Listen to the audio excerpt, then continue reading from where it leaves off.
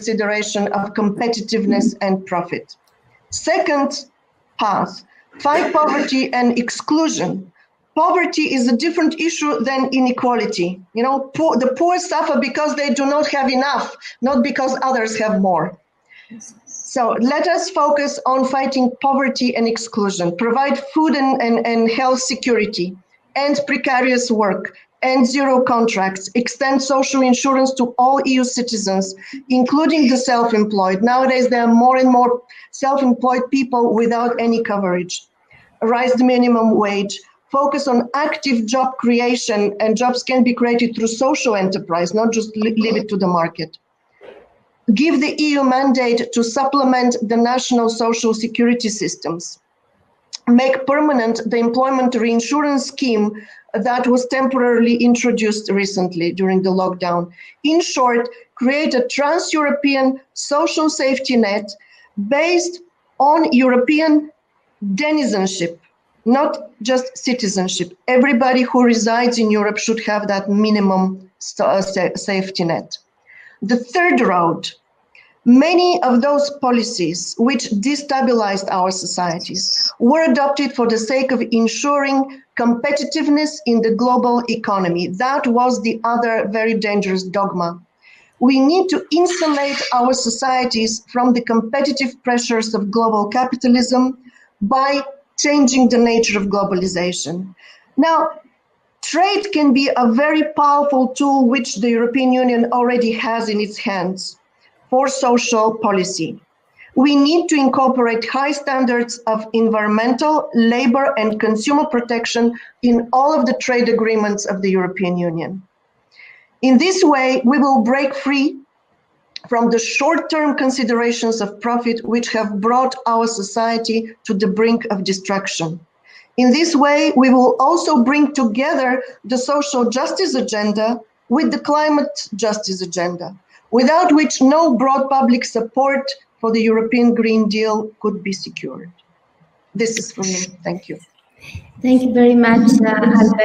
And uh, I must say that uh, uh, it is so nice to hear to hear your proposals coming off uh, from an economist because normally the traditional economists they have a completely different view but more and more you know that uh, very important names also listening from time to time. Esther Duflo who is uh, the uh, Nobel Prize uh, for economy for 2019 there you realize that there is a completely different approach on uh, the economy and what does it mean economy ecology and ecos ecos the, the greek word it means really how take care of the people. Uh, so I would like very briefly uh, to welcome uh, uh Rutger Groot-Wassink, uh, which, uh, as I said before, you are the Deputy Mayor of Amsterdam. It's a big pleasure to have you with us. And um, I, I would like maybe to give the, uh, the other speakers the possibility to, uh, to intervene before you, so you are entering also slowly, slowly in the debate. And I come straight uh, to uh, Ernest because um, indeed, uh, Ernest, uh, you followed uh, as also European parliamentarian the previous financial crisis. And what does it mean, uh, the austerity measures and the cuts in our member states? And uh, it is not uh, just casual, this is not the only reason, but it is not casual that some of our countries, they really suffer more than others because because also partially of the austerity measures, they had to cut a lot to uh, health issues, education issues, uh, in order to be able to respect the 3% of the uh, uh, Stability Pact. So my question to you is uh, um, to, first of all, a very practical question.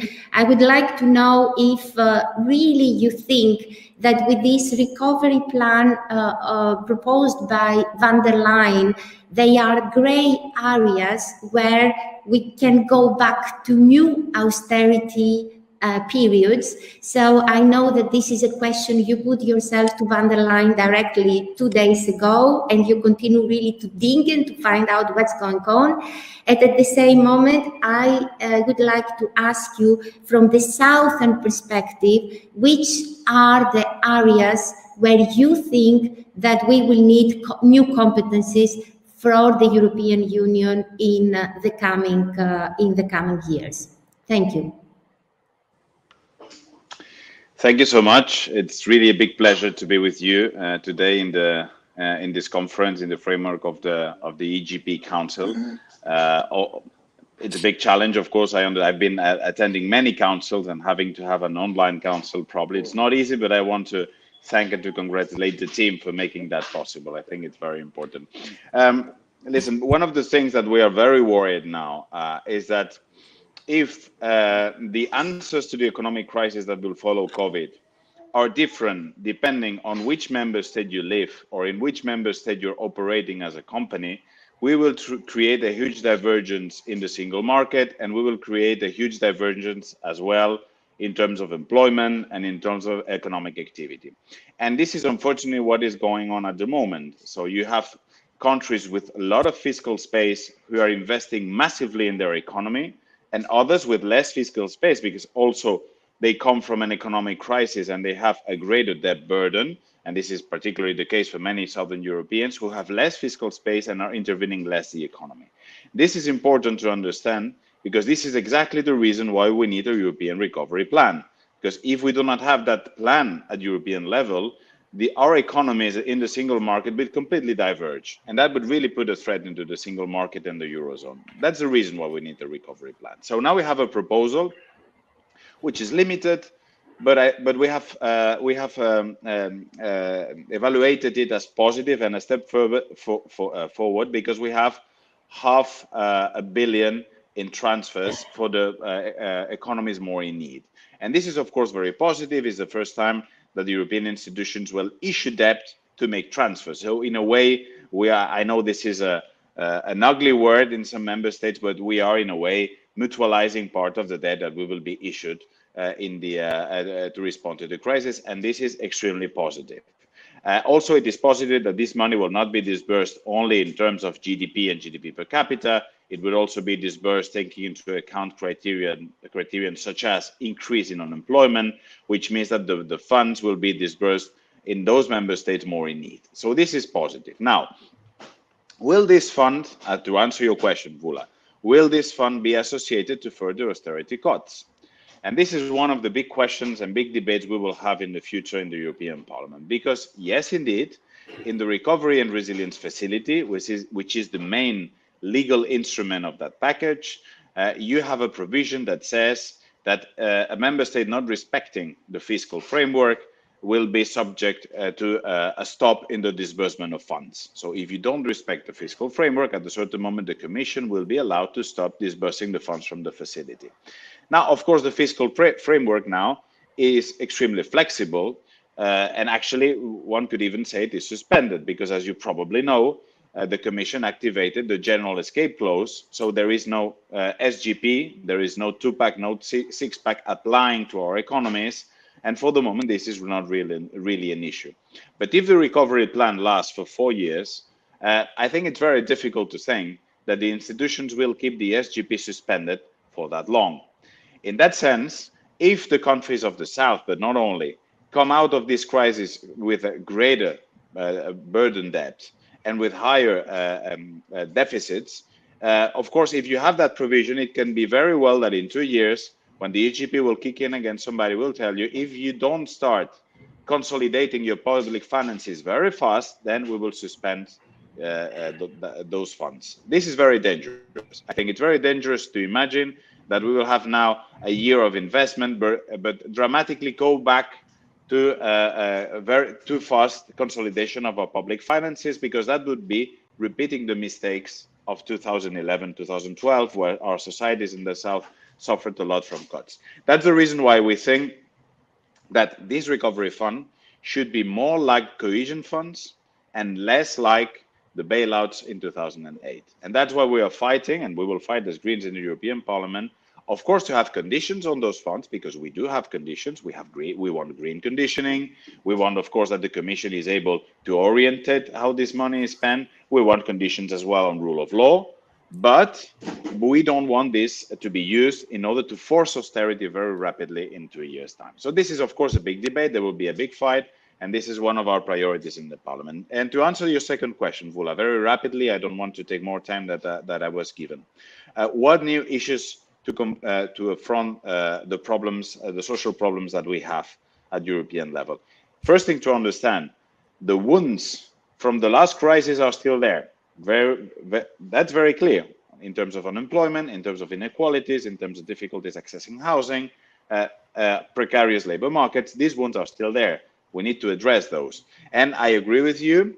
I think there is. I think there is a will from the Commission to speed up some of the proposals incorporated in the in the in the pillar of the European social rights. So I think the Commission announced the other day that the framework for a minimum salary at European level would be, will be speed up. That's very good news.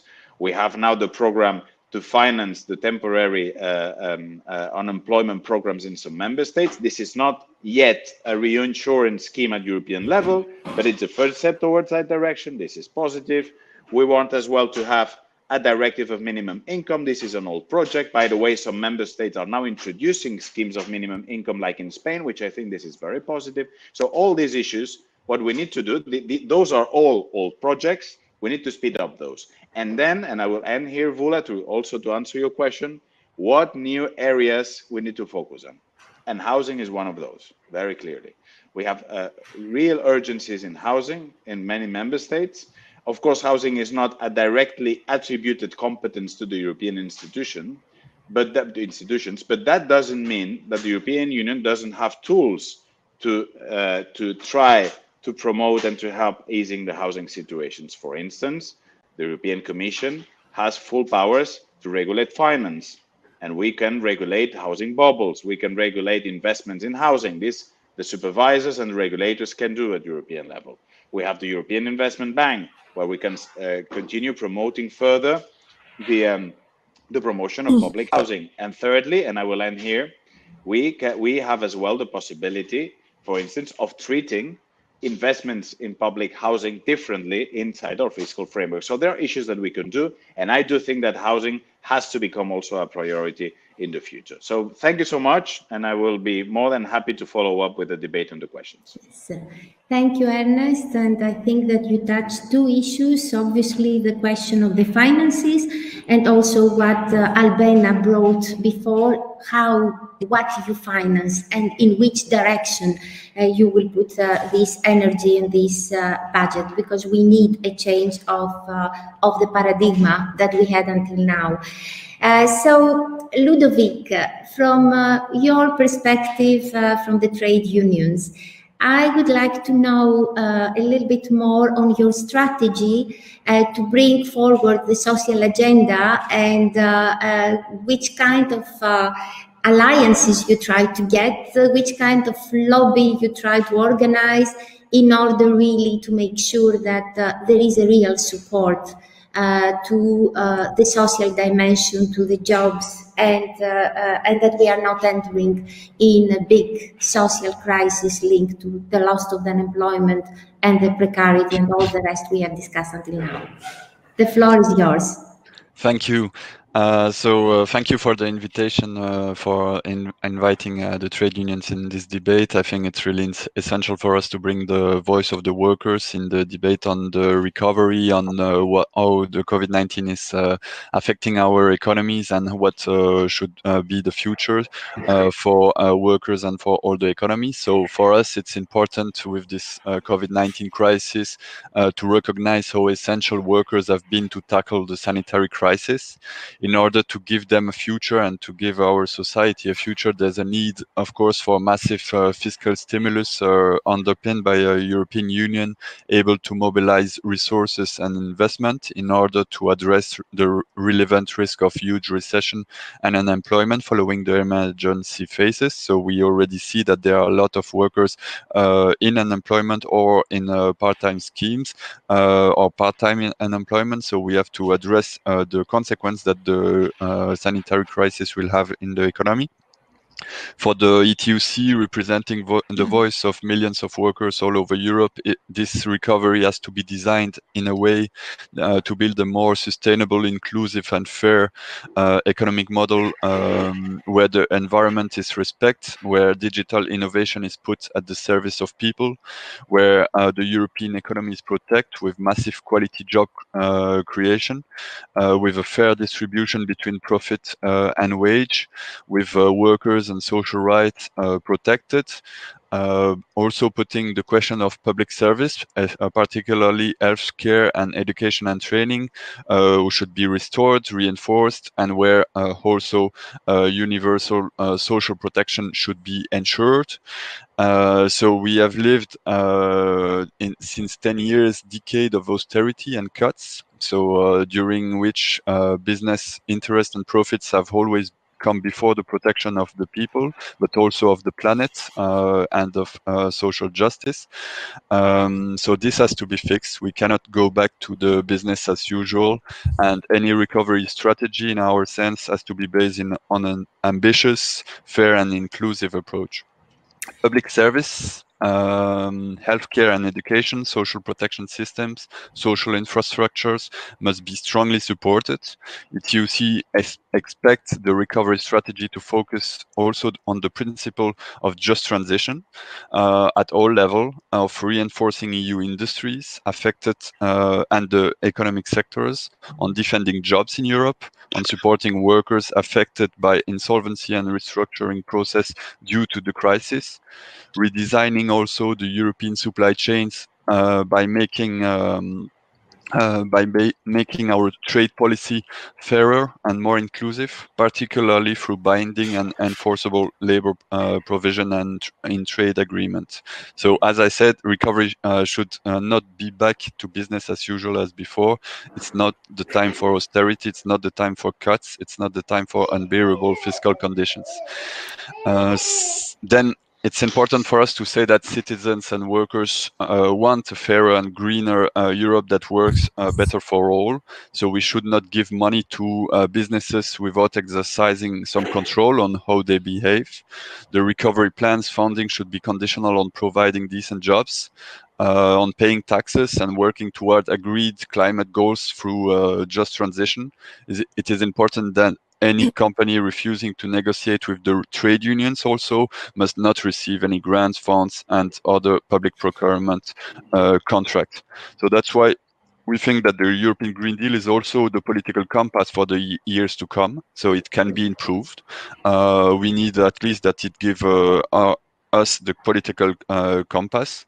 We need a climate law that uh, that uh, puts a climate target to uh, climate neutrality uh, to 2050, but also an inter an interim target of minus 55% by 2030. But this should go not only as a uh, as a target but also with the concrete tools of implementation uh, for the strong social requirement that uh, that this transformation need that's why we push uh, so much on the need for uh, the European Green Deal investment plan to match the challenge at stake. So we need really more money to put also on the table uh, through a more effective and fair taxation, bigger EU budget, the use of all instruments of the EIB, the ECB.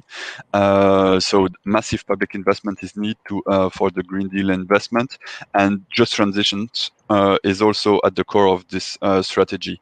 Just transition is not only uh, to help uh, some regions to face the, the question. Just transition is the also the main uh, uh, should be at the core of every strategy linked to climate because this is the only way to ensure the workers Uh, and the citizens uh, uh, support uh, to climate policies. If uh, climate policies means uh, massive dismissals, then workers will turn their back and vote for populist forces, and this is not what we want. And this is how we have to link the carbon neutral economy and uh, just transition at the same time. So it's really important uh, for us, and I would just detail a little bit what just transition means for us because uh, yeah, maybe I'm really sorry if you don't mind because um, we have uh, not so much time. Uh, but for me, what it is um, very relevant of what you said is that. Uh, um, finally, also for the trade unions, the question of the Green Deal is in the center of the social recovery. And uh, this gives me a lot of hope that we will be able together, and we can come maybe back a little bit more on the details afterwards, to uh, create this necessary dynamic to link the two things in order also to change uh, the model of uh, development, because until now, uh, we felt, let's say, politically that you have been more close to some political families than others. But I realize now that it's the time, and more and more we are also coming closely to a common agenda. And you can find in our political family a big ally on issues like trade, which you know what is our position, very close to yours, and on other issues, which of course we know that they are very relevant for uh, uh, for uh, for the social uh, dimension and the social justice.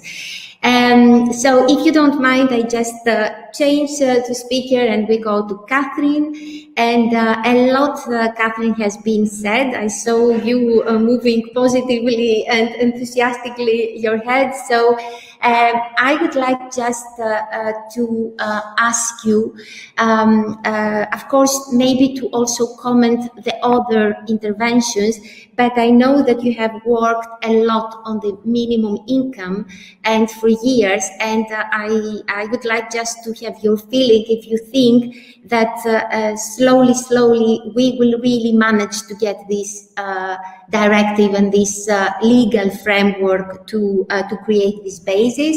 You have been extremely active on women's issue, on fighting the the pay gap to really uh, make sure that women's uh, uh, they are entering and they have equal rights on the labor market and also we have through your experience be extremely active on issues against discrimination but also linked to special needs of um, people with special um, disabilities so I would like just to ask you if you can uh, uh, present what are your main ideas and, of course, how we can really achieve them politically.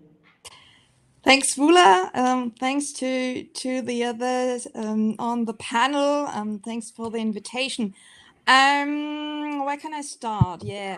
Uh, when I was a student and I finished my my college time, it was in 2007 and 8 uh, when the first crisis started and uh, we were good educated and had no jobs um, i would like to um, break the dogma or what, what i did in the last 10 years it's kind of green dogma and uh, ursula von der leyen's dogma was um, jobs can solve the problems of poverty um, and then um, I was like, yeah, jobs and education can be a part of it, solving the problems of poverty.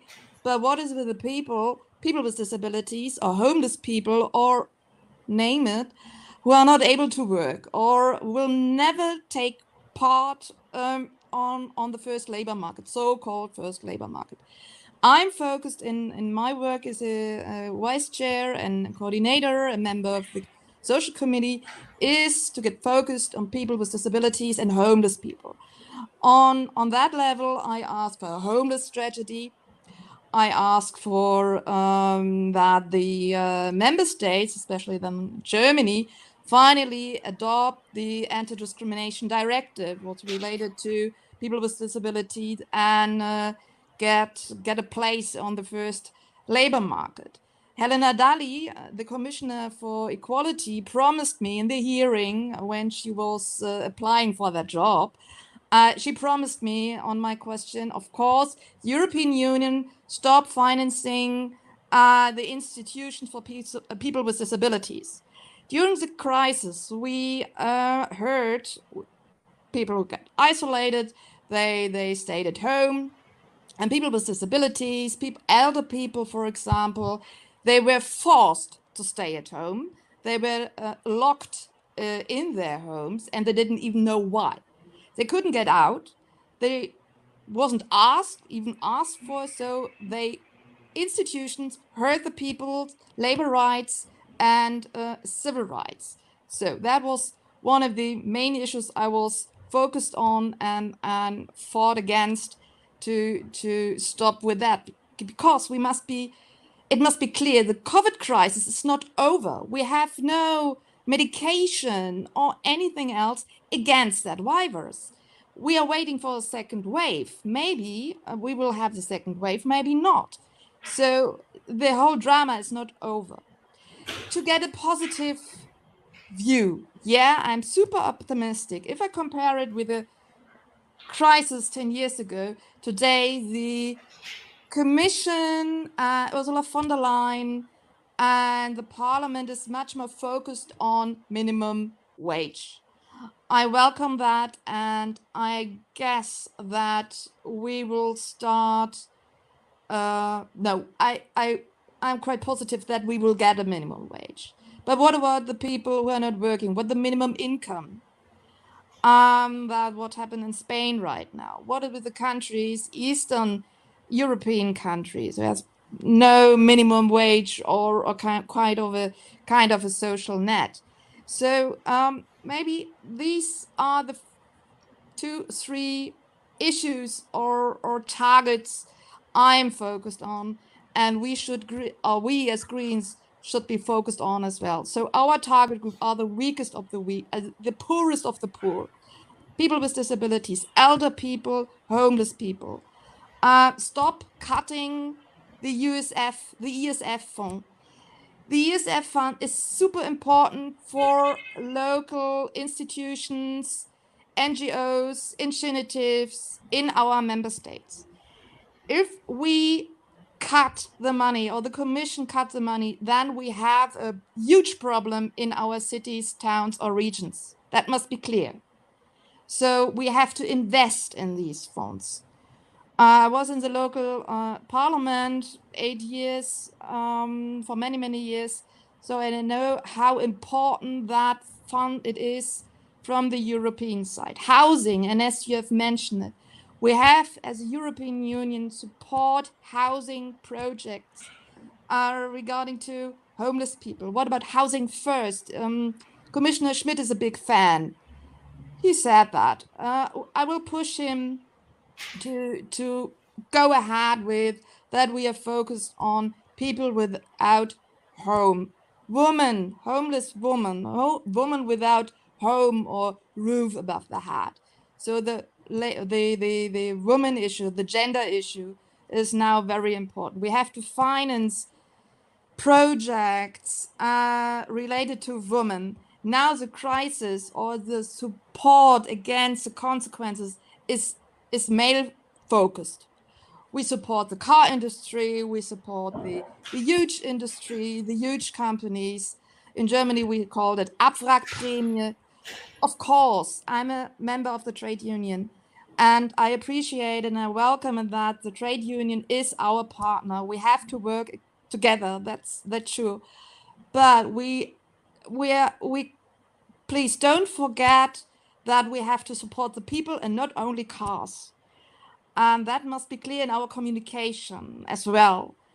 So minimum wage we have to push forward. Minimum income mm, we have to push forward. I haven't talked about the UBI. That's another issue. I'm quite of a fan of it. Uh, what about people who are not able to work? That's a large number in the European Union. We need a welfare state in the the European Union must be a social welfare state. Maybe that's on the communication line as well. So poverty, fighting against poverty, what um, Albena said, must be our main target. Otherwise, we're going to lose the European Union. And the same mistakes we made in 2008 and 9, um, supporting car industry or the huge industry. Um, we have to change that. There are changes. I see the changes. So let be positive, or I try to end and finish in a positive way. Um, there are new lines, new ways. We have to go on, and but our target group must be uh, the poor society, and um, we have to to address on them. Thank you. Uh, maybe before I give the floor to Rutger, I wanted to just uh, because one of the questions who came in the meantime uh, is they are asking how long it will take to get directive on minimum income implemented. And this is uh, uh, with your own experience now. Do you think that this is really feasible? Because from what you said, uh, you have somehow some doubts. And how do you think, and this is a question also for uh, uh, for Ernest, but without opening too much, uh, do you really think that we are entering in a period where this will come because pressure will be enough and and the, the, the, European Commission has to realize that we cannot really uh, ignore that. Ernest, me, I don't care. You can start. Okay. Um, Ursula von der Leyen pr um, promised us the minimum wage when she introduced herself in our group. I was surprised last year, and now she um, pushed a bit away. But I am, yeah, pushing is important. Uh, I hope that we will have a European minimum wage in that period um, in the upcoming three, max four years. Uh, that's my wish. May, I hope it come earlier, um, but I hope that we, in the end, in the next three, four years. Uh, one uh, second, one minute, really very short, Ernest, before uh, uh, takes the floor. Uh, well, I can I can only say that the I, I see an intention from the side of the Commission to be a bit more uh, active on the on social matters lately. So that's what I said that they already speeded up the minimum uh, the minimum salary issue. It's true that on the directive on minimum income, probably this will come a bit later. But I think we should keep the pressure because, as as Catherine said, there are many member states who do not have still a scheme of minimum income. Spain just recently introduced it, and this is an instrument we really need. So I think that we should have, uh, be pushing for that. Thank you. So last but not least, um, uh, Rutger, um, I mean, I had prepared a few questions for you also as a vice mayor of a very big city. Um, at the same moment, uh, I would like really, I would have a big interest to have uh, a little bit a reaction of what you heard until now. And uh, maybe this will give you a little bit more the possibility to broader uh, your, uh, uh, your comments and your presentation. And let's not forget that you are coming from a country which was quite active on on uh, really uh, somehow blocking the solidarity at the EU level. I know that you have a different position, uh, and we are extremely proud for that, uh, that our parties have a different position. Uh, but your perspective as the vice mayor, but also coming from this country with your experience on this discussion will be great. So the floor is yours. Thank you very much, and thank you uh, very much for having me here. I will. Um, uh, give you some uh, some insights more from the local level. You were saying uh, Amsterdam is a big city, but we're quite tiny if you look at it from a European perspective. Um, but what what we have seen in this, this COVID crisis is, I think that there's a sharpening in already existing inequalities. Um, what we have seen is that there are uh, uh, for example, if you look at the issues uh, regarding the homeless, if you look at issues regarding undocumented, if you look at issues of uh, um, uh, precarious workers, we have seen that um, uh, the, the, the, the, vulnerability of these groups stayed hidden as long as there was some of some work. but um, with with with with the what what they, we call the intelligent lockdown, uh, a lot of work has uh, has disappeared or has stopped uh, temporarily or maybe even permanent. Uh, we have a growing uh, um, uh, unemployment and a lot of discussions also about basic security. I was very happy to hear the, the, the universal basic income. It's a discussion which, for the first time in uh, uh, the history of my, no, not for the, in the history or in the recent history of my party is also being discussed again, uh, which which makes me very happy. But what we see is that our, um, this crisis has has, has, has sharpened uh, uh, already uh, um, divisions on the labor market, for example.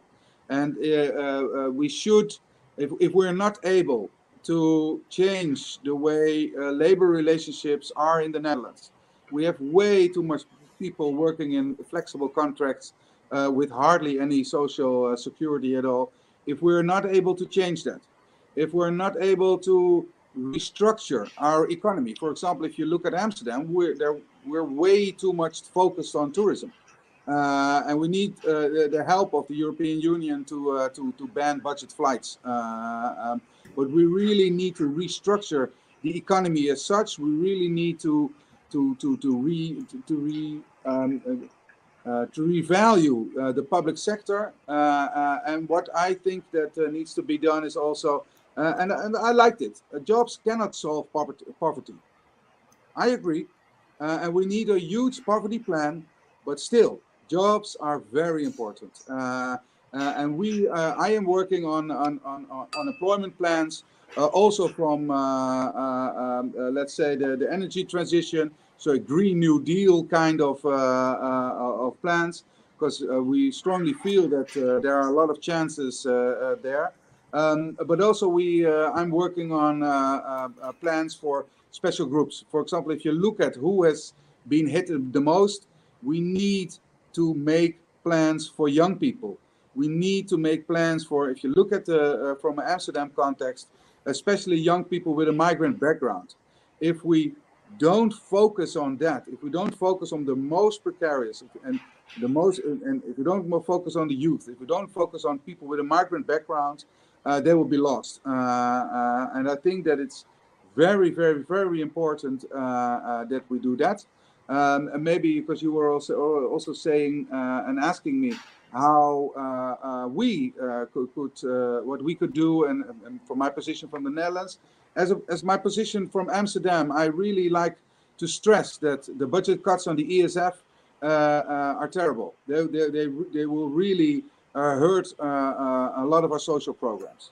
Um, as Amsterdam, we wrote a letter together with Barcelona, with Paris, about access for cities to, to, to, to, to committee funds. Because what we see is that, that sometimes, in a sense, um, you think there's a conflict between southern countries and the Netherlands.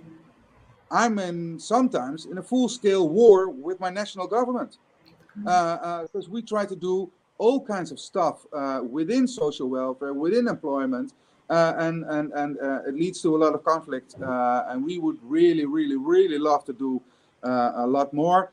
Um, I don't I don't think that I have to stress the position of my party, of the Green Party uh, in the Netherlands. Uh, I was really really ashamed uh, of, of, the, of the position that the, the, the Dutch government took. Um, what else can I say? I was ashamed. Uh, what's there more to say? Yeah. Uh, so um, thank you very much. I, I just wanted to uh, to to just come back on this question of the of the role of the mayors. Uh, because you have been, as you mentioned, active with uh, the Barcelona mayor and some others. Uh, just for your information, and I'm sure also you know that the Visegrad countries uh, with very much active the mayor of Budapest and the mayor of um, of uh, um, Warsaw and some others, Bratislava and Riga. They held hold a press conference already this week, which we hosted, and we were extremely active asking for several reasons. Uh, so not only because sometimes uh, when you get directly the funds, you can really use them in a more appropriate way and with less bureaucracy, but also because of the fundamental rights issues, because we know that in some countries, if uh, cities will not have access directly, somebody like Orban will really block them for uh, uh, with his autocratic attitude in order really not to give the possibility to mayors and to citizens to do their own job. So, and uh, I would like also to say nobody knows, but myself, I'm an urban and regional planner, and for years, uh, decades now, I, I, I, really wrote also some books on that. Uh, I could not understand why the European Union has really so many difficulties to realize that coming close to the urban and regional realities, this is a real service to the citizens. And, uh, and you avoid a lot of corruption. You can really um, develop much more in a, in a real scale the project. So more your voices will be raised, more we have also the opportunity uh, to make it uh, to make it happen. And we are very happy to announce that we have a few minutes more. So they gave me with the stretching 10 more minutes, I hope. And uh, I would like just to bring a few extra issues on the table uh, because, uh, and then maybe I start with the non-green uh, people. Um, so with you, Ludovic, and afterwards uh, with Albena on uh, the question of tax justice. So, and especially what is uh, your position also when it comes, uh, Ludovic, you mentioned the own resources, because part of the financing will be, of course, be the new uh, uh, uh, resources on taxation, in addition, of course, with the big companies and all the rest. So I would like to know what is your position as trade union on, uh, on this issue? And uh, same question to Albena. Ludovic.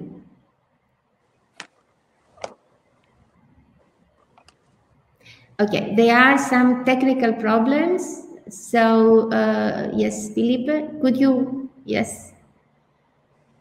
You, you can respond, Ludovic? Okay. So I think that uh, they have turned uh, off uh, the audio, so that is uh, not nice. But let's start maybe with uh, Albena, and then uh, I give you the floor, Ludovic, after. All right. Um, you can hear me? Yes.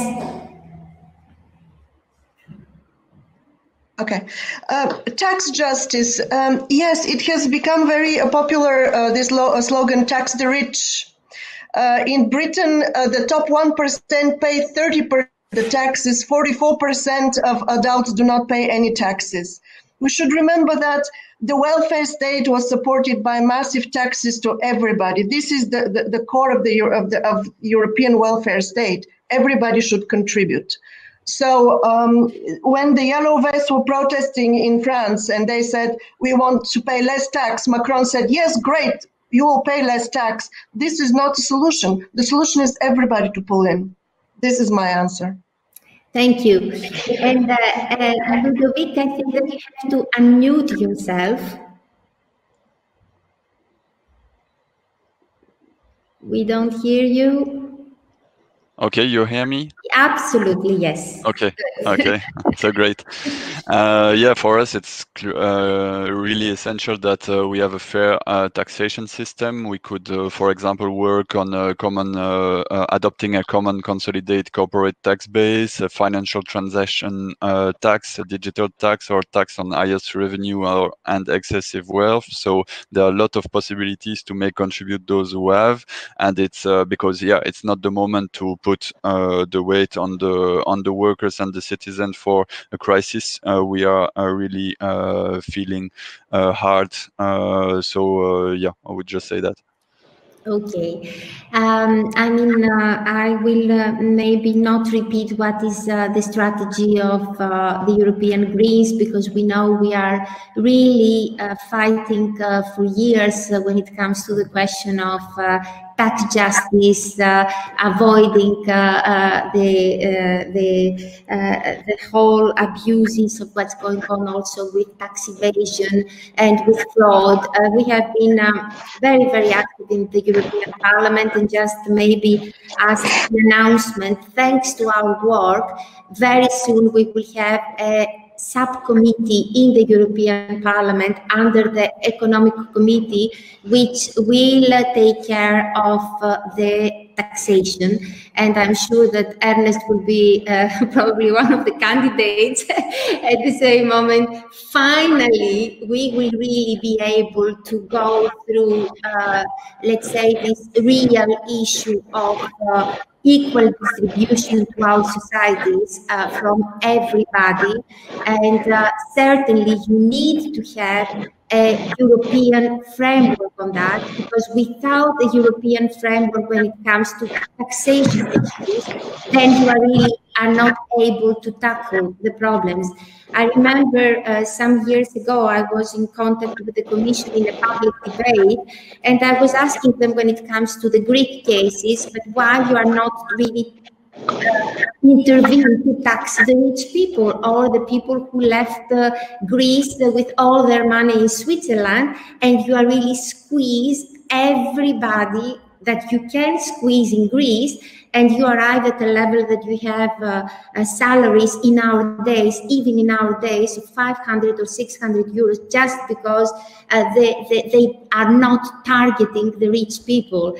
And the very simple response of uh, the European Commission, the person who was present in, in this panel, he said, we have no competence on that. And because we have no competence, we know there is a problem, but we can absolutely do nothing on that. So indeed, uh, there is quite a lot of uh, work to be done. Uh, maybe before I make some very short uh, remarks of conclusion, I will just give to each of you the floor for one minute to send a political message uh, to uh, also our audience and also, let's say, um, encourage us, all of us, to continue to work on something we strongly believe, on the social Europe. So uh, I will start with Ernest, and then I will do the whole tour, and I will conclude. And thank you. Yeah, thank you so much.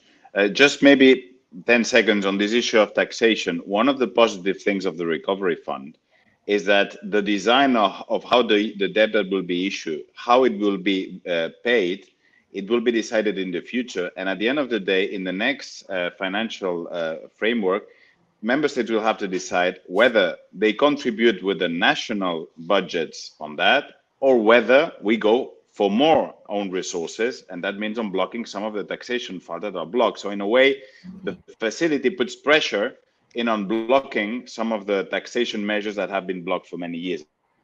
And this is, I think, one of the positive things.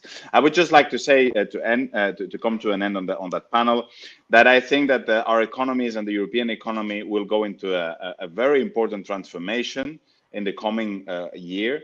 And it is up to us to pick up that political battle to really, really push finally towards a, a, green and social economic model for the European Union. This is what, let's not take that for granted. Everybody says now, yeah, but finally now we will build a more resilient society. Well, we were already told that in 2008 it didn't happen, on the contrary.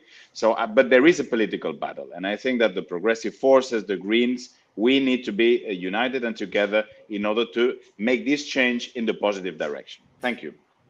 Thank you. Uh, Ludovic? Yeah, do you hear me?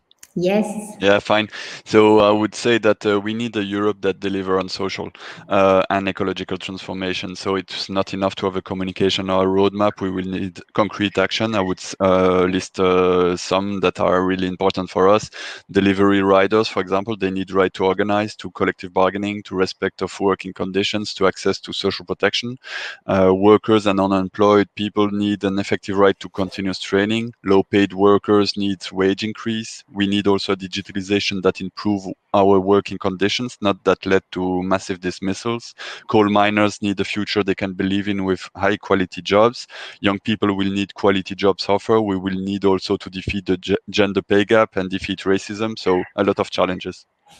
Thank you. Catherine?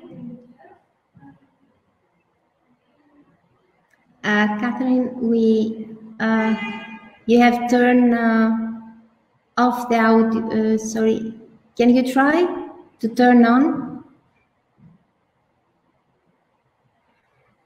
Okay, before then, uh, no problem. We go to uh, Albena and then we try to help you on solving uh, solving the problem. Albena. Microphone on. Mm -mm. Yeah, but The same. no, but I think that I hear uh, I hear I hear you, Catherine. Hello? Yes, Now you can hear me? Great. yes, absolutely. Okay. Um, I guess fear is a bad advisor, and and we are on the right way. Uh, I see that we have many NGOs. We can work together and show on the street what the climate movement was or is, can be the the social movement as well. So uh, the people are solidar. Uh, we have to focus on the people uh, who are the weakest, the poorest, and um, so and and social justice. That's the glue uh, who keeps the European Union together. So uh, otherwise, we're going to lose it. But I'm not afraid of it.